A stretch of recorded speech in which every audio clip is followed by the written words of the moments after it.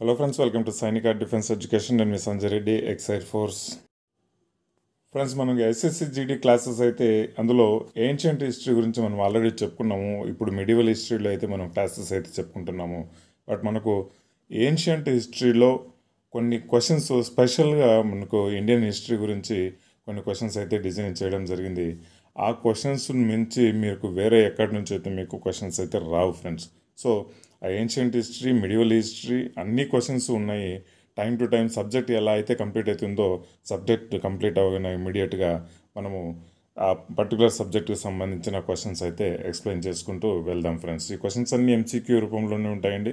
SSC జీడీకి సంబంధించి స్పెషల్గా ఈ క్వశ్చన్స్ తప్ప ఇంక వేరే క్వశ్చన్స్ రావు గుర్తుంచుకోండి ఫ్రెండ్స్ సో ఇక్కడ మనకు ఫస్ట్ క్వశ్చన్ గురించి డిస్కస్ చేసుకుంటే ఇక్కడ ఫస్ట్ క్వశ్చన్ వచ్చేసి హూ ఫౌండ్ ఏన్షియంట్ హిస్టరీలో అండి who founded mathas in the four corners of India అని అడిగాడు అంటే సో మనకు మఠాలు ఏదైతే పీఠాధిపతి కంచి కామ కంచి పీఠాధిపతి ఇట్లా ఉన్నారు కదా సో అది మఠం అనమాట సో ఆ మఠాలు ఎవరు? నాలుగు ఇండియాలో నాలుగు కార్నర్స్ అంటే ప్రతి నార్త్ ఈస్ట్ వెస్ట్ సౌత్ ఈ సైడ్లలో ఎస్టాబ్లిష్ చేస్తారంటే మనకు శంకరాచార్య అంటే ఇతను ఫోర్త్ సెంచరీ క్యాండిడేట్ అనమాట సో ఆది శంకరాచార్య తన ఎలా ఎవరైతే అంటారో అతనే ఈ శంకరాచార్య అనమాట సో ఇక్కడ నెక్స్ట్ క్వశ్చన్ వచ్చేసి who was the founder of Gupta dynasty అని అడిగాడు.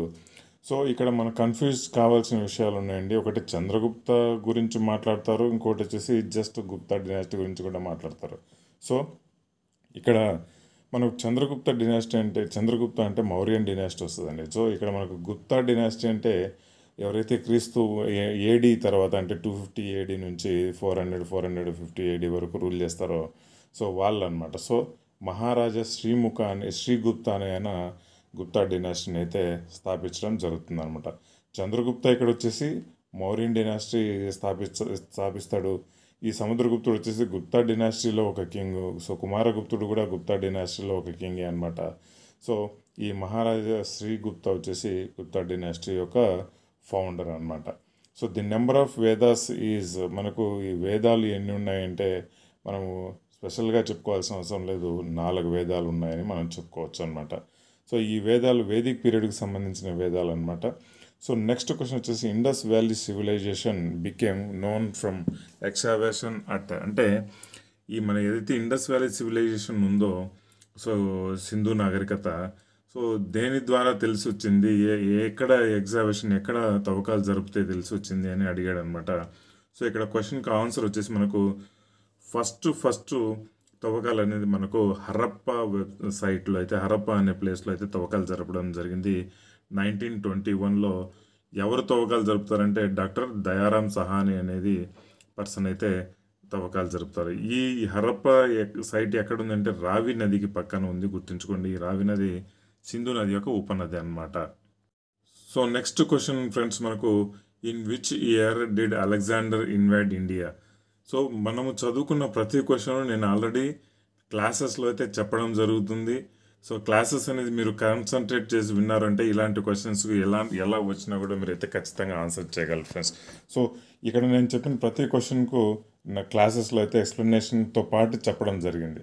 సో ఇక్కడ నెక్స్ట్ క్వశ్చన్ మనం డిస్కస్ చేసుకుంటే అలెగ్జాండర్ ఇండియాకి ఎప్పుడు వచ్చాడు ఎప్పుడు ఆక్రమించుకున్నాడు ఇండియాను అని అనుకుంటే మనకు three hundred and twenty six బీసీలో అంటే బిఫోర్ క్రైస్ట్లో అలెగ్జాండర్ అనేది రావడం జరుగుతుంది అనమాట సో నెక్స్ట్ uh, క్వశ్చన్ చూసి who was the founder of Shaka era so ఇక్కడ మనకు శాఖా ఎరా అనేది ఒక మన ఫస్ట్ సెంచరీ ఏడీలో ఉండడం జరుగుతుంది.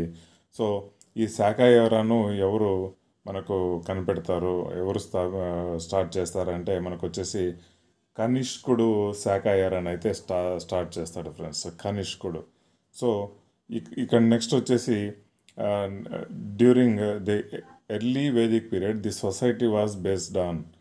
So Vedic period రెండుగా ఉంటాయన్నమాట ఎర్లీ వేదిక్ పీరియడ్ అనేసి లేటర్ వేదిక్ పీరియడ్ అనేసి అంటే తొలి వేద కాలము మలి వేద కాలం రెండు ఉంటాయి మన తెలుగులో.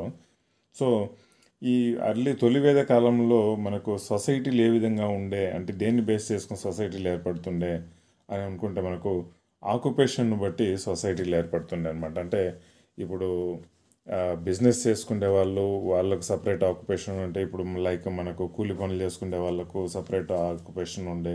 సో అలా వృత్తిని బట్టి కాలనీస్ అయితే సొసైటీస్ అయితే ఏర్పడ ఏర్పడడం జరిగిందనమాట సో నెక్స్ట్ క్వశ్చన్ వచ్చేసి విచ్ లై which line of rulers succeeded the Mauryas in Magadha అంటే మౌర్యాస్ తర్వాత ఎవరు వచ్చారు అని దీనికి అర్థం అనమాట సో మౌర్యాల తర్వాత సుంగులు పుష్యమిత్ర శుంగ అనే అతను.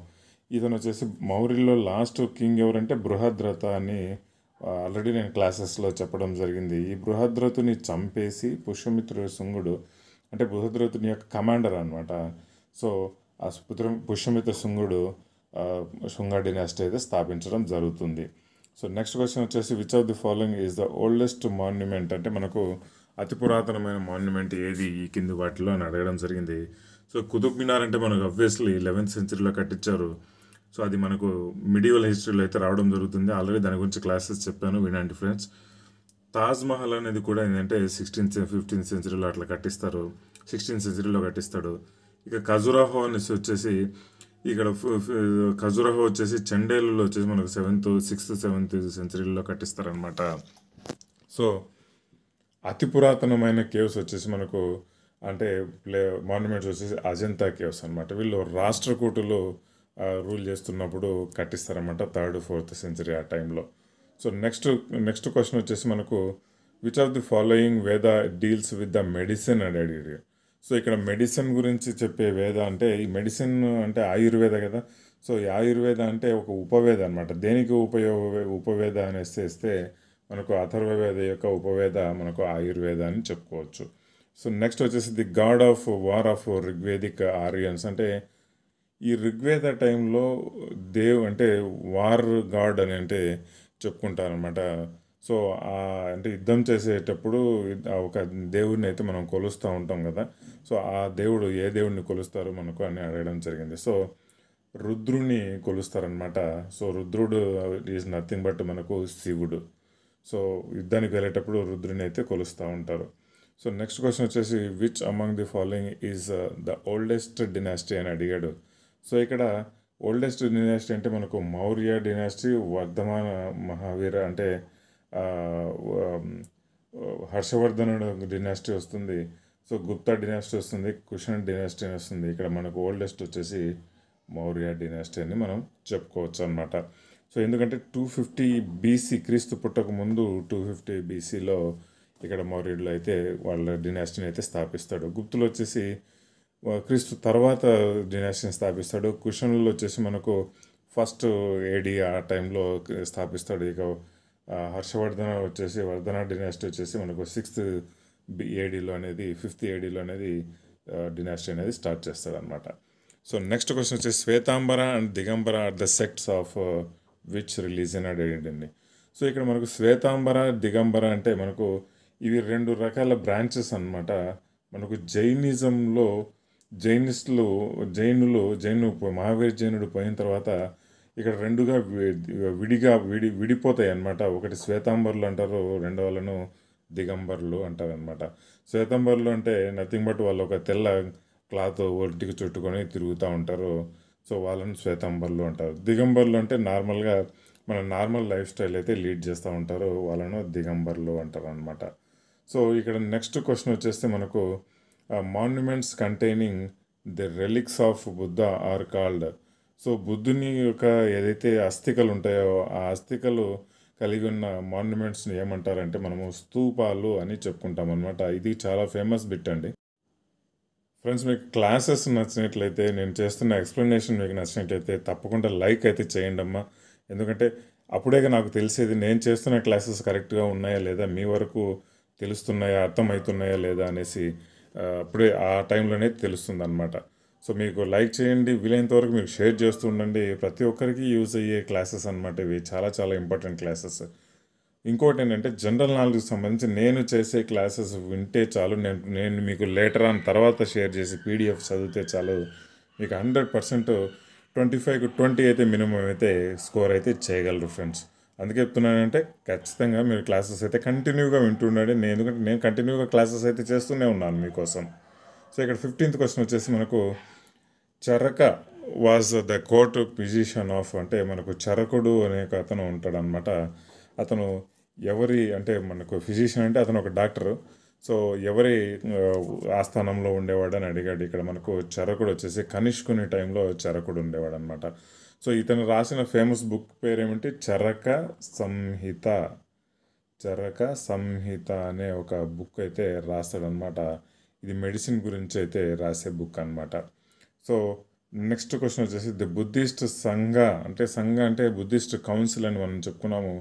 బుద్ధిస్ట్ సంగీతి అని కూడా మనం చెప్పుకుంటాం అనమాట సో ఈ Buddhist Sangiti was divided into two sects the Himalaya and him Hinayana and the Mahayana during the reign of అంటే ఎవరి టైంలో ఈ బుద్ధిస్టులు రెండుగా డివైడ్ అయిపోతారు అనేసి అడగడం జరిగిందనమాట సో కనిష్కుడు ఎవరైతే మనకు ఇండియాలో ఆ టైంలో ఫస్ట్ సెంచరీలో కనిష్కుడు ఉంటాడో ఈ కనిష్కుని టైంలో మనకు బుద్ధిస్టులు హీనయాన మహాయాన అనేసి రెండు బ్రాంచెస్గా విడిపోతారు. ఎలాగైతే మనకు జైనిజంలో శ్వేతాంబర్లు దిగంబర్లు అనే రెండు విధాలుగా విడిపోతారో ఇక్కడ కూడా హినయాన మహాయాన అనే విధంగా విడిపోతారనమాట ఆ తర్వాత మనకు లెవెన్త్ సెంచరీలో వజ్రాయన అనేది కూడా ఒక కొత్త బ్రాంచ్ అయితే వస్తుందన్నమాట గౌతమ్ బుద్ధుల్లో.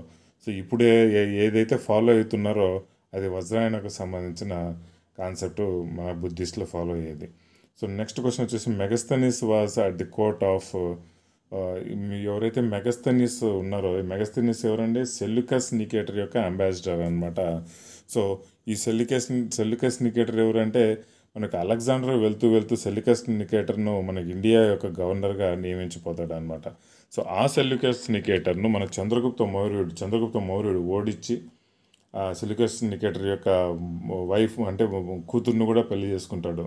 సో ఈ అదే సెల్యుకస్ నికేటర్ మెగస్థనీస్ అనే ఒక అంబాసిడర్ను ఇతను చంద్రగుప్త మౌర్యుని యొక్క ఆస్థానంలో ఉంచేసి అయితే వెళ్తాడనమాట. సో గుర్తుపెట్టుకోండి Chandragupta మౌర్యుడు is the correct option so the Indus valley civilization reached its zenith in dash BC అని అడిగారు. రెండు వేల ఐదు వందల బీసీలో ఇండస్ వ్యాలీ సివిలైజేషన్ అయితే కనుక్కోవడం అయితే జరిగిందనమాట so nineteenth question which is the oldest known civilization in India so obviously అంటే మనకు నోన్ ఓల్డెస్ట్ నోన్ సివిలైజేషన్ వచ్చేసి మనకి ఇండస్ వ్యాలీ సివిలైజేషనే సో ఏన్షియంట్ హిస్టరీ అనేది ఫస్ట్ ప్రీ హిస్టరీ అనేది ఇక్కడ నుంచి స్టార్ట్ అవుతుందన్నమాట. So which of the following is the oldest dynasty అని అడిగాడు. ఇక్కడ మనకు మౌర్యులు చోళ చాళుక్య అని అడిగాడు. కానీ లాస్ట్లో నలంద ఉంది కదా. నలంద తర్వాత మౌర్య మౌర్యులు వస్తారు. సో మౌ- మౌర్యుల తర్వాత వచ్చేసి చోళులు వస్తారు. చోళుల తర్వాత చాళుక్యులు వస్తారు అనమాట సో నెక్స్ట్ క్వశ్చన్ వచ్చేసి Puranas date back to the age of Guptas అంటే వీళ్ళందరూ ఆ, గుప్తుల వచ్చేసి పురాణాలను సంకలనం కూడా చేయడం జరుగుతుంది అనమాట సో నెక్స్ట్ వచ్చేసి ఎయిత్ ఫోల్డ్ పాత్ అంటే అష్టాంగ మార్గము అష్టాంగ మార్గం అనేది మనకు గౌతమ బుద్ధుడు తెలియజేయడం అయితే జరుగుతుంది. అంటే మంచి విను మంచి చూడు మంచి చెయ్యి మంచి పని మంచి అలవాట్లు నేర్చుకో. సో ఇలాంటి ఎనిమిది మార్గాలు ఏదైతే గౌతమ బుద్ధుడు అంటే మనకు పుణ్యాన్ని పొందడానికి స్వర్గాన్ని చేరుకునేదానికి మనకు ఎనిమిది మార్గాలు అయితే మోక్షాన్ని పొందడానికి ఎనిమిది మార్గాలు అవలంబించాలని చెప్తాడు అనమాట సో నెక్స్ట్ క్వశ్చన్ వచ్చేసి which language did Buddha preached so Gautam బుద్ధుడు జనరల్గా వచ్చేసి పాలి లాంగ్వేజ్లో తన బోధనలు అయితే చెప్తాడనమాట సో మనకు అదే జైనిజం జైనిజం వచ్చేసి ప్రాకృతిక లాంగ్వేజ్లో చెప్తారు. బుద్ధుడు బుద్ధిజం వచ్చేసి పాలి లాంగ్వేజ్లో చెప్తారనమాట so the original name of lord Buddha Gautam బుద్ధుని యొక్క అసలు పేరు ఏంటి అని అడిగితే సిద్ధార్థ అని చెప్పుకోవచ్చు అనమాట so last Mauryan ruler Brihadratha was killed by already ఈ క్వశ్చన్ అయితే మనం డిస్కస్ చేసుకోవడం జరిగింది. ఎవరు killed by Pushyamitra Shunga the commander of Brihadratha అనమాట సో నెక్స్ట్ క్వశ్చన్ వచ్చేసి శృంగ తర్వాత శృంగ డైనాసిటీ అనేది కూడా స్టార్ట్ చేయడం జరుగుతుంది. So who is regarded as the greatest lawgiver of ancient India అని అడిగాడు. అంటే లా గివర్ అంటే మనకు చట్టాలు అంటే లా చదివిన వాళ్ళు లా గురించి చెప్పిన వాళ్ళు అనమాట సో ఆ ఏన్షియంట్ హిస్టరీలో మనకి ఏన్షియంట్ ఇండియాలో లా గురించి చెప్పిన వాళ్ళు మనకు మను అనే అతను చాలా ఫేమస్ అనమాట అందుకే మనకు మనుస్మృతి అని కూడా మనము చెప్పుకుంటాము. అది లాకు సంబంధించిన బుక్ అనమాట మనుస్మృతి. సో నెక్స్ట్ క్వశ్చన్ వచ్చేసి బుద్ధ గౌతమ్ బుద్ధుడు డెలివర్డ్ హిస్ ఫస్ట్ సెర్మన్ అంటే ఏదైతే ఫస్ట్ ప్రీచింగ్ ఏదైతే ఉంటుందో అంటే తన స్టూడెంట్స్ని ఐదు మంది స్టూడెంట్స్ను కలెక్ట్ చేసుకొని తను ప్రీచింగ్ అయితే చెప్పడం జరుగుతుంది. ఆ సెర్మన్ వచ్చేసి మనకు ఎక్కడ జరుగుతుంది అంటే సార్నాథ్లో అనేది జరుగుతుంది అనమాట సార్నాథ్లో జింకల వనం అని ఉంటుంది. అక్కడ మన గౌతమ్ బుద్ధుడు ఐదు మంది స్టూడెంట్స్ని పిలుచుకొని అరే బాబు ఇదిరా నాయన దుఃఖానికి కారణం ఈ విధంగా ఉంటుంది. సో మీరందరూ పోయి నేను చెప్పింది మీరందరూ నలుదిక్కులపై స్ప్రెడ్ చేయండి గౌతమ్ బుద్ధుడు అంటే దీని గురించి చెప్పండి అని చెప్తాడనమాట సో నెక్స్ట్ క్వశ్చన్ వచ్చేసి Ajanta caves were built during whose period అని అడిగాడు అనమాట ఈ అజంతా కేవ్స్ మనకు ఎవరి కాలంలో అంటే ఎవరి కాలంలో స్థాపించడం అంటే బిల్డ్ చేయడం జరిగింది అని అడుగుతాడు. సో మనకి ఇక్కడ అజంతా కేవ్స్ కూడా ఏంటంటే గుప్తుల టైంలోనే బిల్డ్ చేయడం అయితే జరుగుతుంది ఫ్రెండ్స్. సో ఇక్కడ నెక్స్ట్ క్వశ్చన్ వచ్చి ఫాహియాన్ ఎవరైతే ఉన్నారో ఈ చైనీస్ ట్రావెలర్ అనమాట ఫాహియాన్ ఈయన వచ్చేసి ఎవరి టైంలో రావడం జరుగుతుంది ఇండియాకు అని అయితే చంద్రగుప్త టూ టైంలో ఫాహియాన్ అయితే ఇండియాకు రావడం అయితే జరుగుతుంది అనమాట సో నెక్స్ట్ క్వశ్చన్ వచ్చి the rock cut temples of Mahabalipuram were built by so ఏ వంశస్థులు రాక్ టెంపుల్స్ అంటే మనం మహాబలిపురం వెళ్తే ఒకే స్టోన్ మీద ఏడు ఐదు అంటే ప- పంచరథాలు చెక్కడము ఈ విధంగా ఉంటాయి అన్నమాట సో అండ్ మరోవర్ ఏ కొండ కనిపించినా కూడా శిల్పాలే ఉంటాయి ఇంకా మహాబలిపురంలో. అది ఎవరు బిల్డ్ చేస్తారు ఎవరు కట్టిస్తారు అంటే మనకు పల్లవులు అని చెప్పుకోవచ్చు అనమాట ఫ్రెండ్స్ పల్లవులు. సో ఇక్కడ పల్లవులు అనేవాళ్ళు మహాబలిపురాన్ని అయితే స్థాపిస్తారు. Next question lord Buddha was born in lord Gautam Buddha మనకు ఎక్కడ పుడతాడంటే లుంబిని పార్క్లో పుడతాడు అనమాట అంటే లుంబిని వనంలో నేపాల్లో పుడతాడు. So dash did the maximum for the spread of Buddhism in foreign lands ఎవరు చేశారు? ఎవరు స్ప్రెడ్ చేశారు? ఫారిన్ విదేశాల్లో కూడా గౌతమ్ బుద్ధుని గురించి గౌతమ్ బుద్ధుని యొక్క రిలీజియన్ గురించి అంటే మన నన్ను అదర్ దాన్ మనకు అశోకుడే చేస్తాడనమాట సో దీని తర్వాత వచ్చేసి Vedic culture was a gift of the Indus valley people Vedic culture అంటే మనకు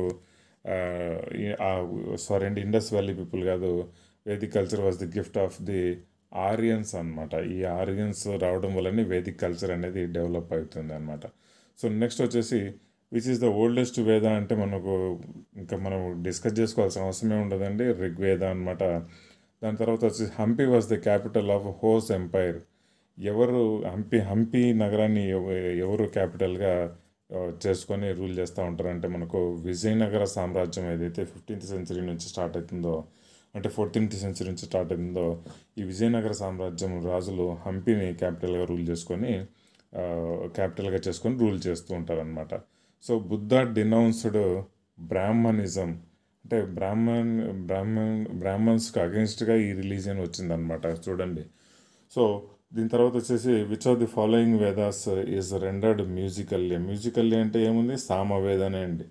సో సామవేద అంటే సరిగమ పదని మ్యూజిక్ సంబంధించింది కాబట్టి. సో నెక్స్ట్ వచ్చేసి when was the battle of Kalinga fought Kalinga war ఎప్పుడు జరిగింది అంటే మనం ఆల్రెడీ డిస్కస్ చేసుకున్నాము. క్రీస్తు పూర్వం two hundred and sixty two బీసీలో అశోకుడు ప్లస్ కళింగులకు మధ్య జరిగిన యుద్ధం అనమాట ఇది. సో నెక్స్ట్ క్వశ్చన్ వచ్చేసి name the four volume book written by Megasthenes the Greek diplomat giving account of India so already మనం చెప్పుకున్న మెగస్తనేసి చంద్రగుప్త మౌర్యన్ టైంలో ఉంటారనేసి అది ఎవరి గురించి చెప్పడం అయితే జరిగింది. ఆ బుక్ పేరేంటి అని అడిగాడు. ఆ బుక్ వచ్చేసి ఇండికా అనమాట మెగస్తనేసి వచ్చిన మెయిన్ బుక్ ఏంటంటే Indica. Next Chandragupta Maurya built the first great empire in India with the help of ఎవరు? కౌటిల్య. కౌటిల్యుడు అంటే మన చాణక్యుడు లేదంటే విష్ణుగుప్తుడు అని కూడా ఇతను చెప్పుకుంటాం అనమాట చంద్రగుప్త మౌర్యుడు కౌటిల్య చాణక్యునితో పాటే అంత గొప్ప సామ్రాజ్యాన్ని అయితే స్థాపించగలుగుతాడు.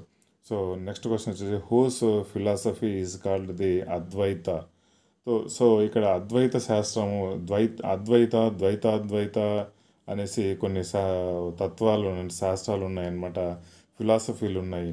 అవి రామానుజాచార్య కూడా ద్వైతాద్వైత కూడా రాస్తాడు. సో ఇక్కడ అద్వైత శాస్త్రం అనేది మనకు ఆది శంకరాచార్యుడు అయితే చెప్పడం అయితే జరుగుతుంది. So next Jains believe that Mahavira was the last Tirthankara అని చెప్పుకుంటాం అనమాట మాంగ్స్ కాదు మాంగ్స్ కాదు టీచర్ కాదు ప్రొఫెట్ కాదు. సో ప్రొఫెట్ అంటే మహమ్మద్ ప్రొఫెట్ వస్తాడండి. మాంగ్స్ అంటే మనకు బుద్ధిస్ట్ గురించి వస్తాడు. తీర్థాంకర అని చెప్పుకుంటాం అనమాట గౌతమ్ బుద్ధుని. సో నెక్స్ట్ క్వశ్చన్ వచ్చేసి on the banks of which river did Alexander fight porous porous అంటే మనకు పురుషోత్తం అనమాట అలెగ్జాండర్ ఏ నది పక్కన ఏ నది ఒడ్డున పురుషోత్తమంతో ఫైట్ చేస్తాడు అని అడగడం జరిగింది. సో ఇక్కడ జీలం అనమాట సో ఈ జీలాన్ని మన గ్రీక్ లాంగ్వేజ్లో హైడస్పస్ అని కూడా అంటారు. సో ఈ హైడస్పస్ వార్ అని కూడా మనం చెప్పుకుంటాం అనమాట అలెగ్జాండర్ పరుషోత్తముని మధ్య జరిగిన యుద్ధాన్ని. సో ఇక్కడ నెక్స్ట్ క్వశ్చన్ వచ్చి Siddhartha attend his enlightenment at అంటే సిద్ధార్థ అంటే ఎవరు? మన గౌతమ్ బుద్ధుడు. గౌతమ్ బుద్ధుడు ఎక్కడ జ్ఞానోదయం కలిగిందంటే గయాలో అంటే బోధ గయాలో జ్ఞానోదయం అయితే కలుగుతుందన్నమాట గౌతమ్ బుద్ధునికి. ఇక్కడ అలహాబాద్ పిల్లర్ ఇన్స్క్రిప్షన్ ఏదైతే ఉందో originally erected by Ashoka provides information about the reign of ఎవరి గురించి తెలియజేస్తుందంటే మనకు చంద్రగుప్త సముద్రగుప్తుని గురించి అయితే సముద్రగుప్తుడు చేసిన విజయాలు యుద్ధాలు వాటి విజయాల గురించి అయితే తెలియజేస్తుంది అనమాట మనకు అలహాబాద్ ఇన్స్క్రిప్షన్ సో ఇక్కడ iron pillar at Mehrauli was built by మెరోలీలో ఏదైతే ఢిల్లీలో ఐరన్ పిల్లర్ ఒకటి ఉంటుందన్నమాట. అది ఎవరు కట్టిస్తారో అంటే ఎవరు పిల్లర్ని స్థాపిస్తారంటే మనకు మౌర్యుల్లో మౌర్య డినాసిటీ వాళ్ళు స్థాపి అంటే చంద్రగుప్త మౌర్య అనే ఈ ఐరన్ పిల్లర్ని అయితే వేయిస్తాడనమాట ఇక లాస్ట్ త్రీ క్వశ్చన్స్ అండి. ఇది Gupta dynasty was famous for arts and ఆర్కిటెక్చర్కు Gupta Gupta dynasty అయితే చాలా ఫేమస్ అందుకే చాలామంది కవులను చాలా మంచి మంచి కట్టడాలు కూడా ఈ డినాసిటీలో వల్లే చేయిస్తారనమాట సో నెక్స్ట్ మహమ్మద్ ప్రొఫెట్ ఏ ఏ అతను ఏ టైంలో ఎప్పుడు పుడతాడు అని అడగడం జరిగింది. Option A correct option five hundred సెవెంటీలో Mohammed prophet అయితే పుట్టడం జరుగుతుంది. So six hundred twenty second వచ్చేసి ముస్లిం యొక్క క్యాలెండర్ ఇయర్ అయితే స్టా ఎరా అయితే స్టార్ట్ అవుతుంది ఫ్రెండ్స్ ఇక చైత్యాస్ అండ్ విహారాస్ మనకు జనరల్గా వచ్చేసి బుద్ధిజంకు సంబంధించిన ఆర్కిటెక్చర్స్ అనమాట అంటే కన్స్ట్రక్షన్స్ అనమాట చైత్యాలు విహారాలు. సో లాస్ట్ క్వశ్చన్ వచ్చేసి మనకు బుద్ధ చరిత అనే బుక్ను ఎవరు రాస్తారు అని చెప్పడం అయితే జరిగింది. సో అశ్వఘోషుడు ఏదైతే ఉంటారో ఈ అశ్వఘోషుడు బుద్ధ చరిత అనే బుక్ అయితే రాస్తాడనమాట so friends most important ancient history questions series అయితే నేను చెప్పడం అయితే స్టార్ట్ చేశాను. సో మీరు మళ్ళీ చెప్తున్నాను హిస్టరీ గురించి జనరల్ నాలెడ్జ్ గురించి సబ్జెక్ట్ ఏదైతే ఉందో మీరు ఎక్కడికి పోవాల్సిన అవసరం లేదు. ఎక్కడ ఒక పది బుక్కులు రెఫర్ చేయాల్సిన అవసరం లేదు. నేను చెప్పిన మెటీరియల్ కానీ నేను చెప్పిన క్లాసెస్ వింటూ ఉండండి. మెటీరియల్ అనేది నేను తర్వాత ప్రొవైడ్ చేస్తాను. సో ఇది మాత్రం చదివితే అయితే మీకు గ్యారంటీగా ట్వంటీ ఫైవ్కు ట్వంటీ అయితే మినిమం వస్తాయి ఫ్రెండ్స్ సో వీలైనంత వరకు క్లాసెస్ అయితే షేర్ చేస్తుండండి ఛానల్ అయితే ఎంకరేజ్ చేస్తుండండి. టెలిగ్రామ్ ఛానల్లో కూడా చాలా వరకు నా పీడిఎఫ్ మెటీరియల్స్ అయితే షేర్ చేస్తున్నాయి. ఎవరైతే ఇంట్రెస్ట్ ఉన్నారో టెలిగ్రామ్ ఛానల్లో జాయిన్ అయ్యి మెటీరియల్స్ అయితే డౌన్లోడ్ చేసుకోవచ్చు friends. Thank you friends. Thank you very much. Jai Hind.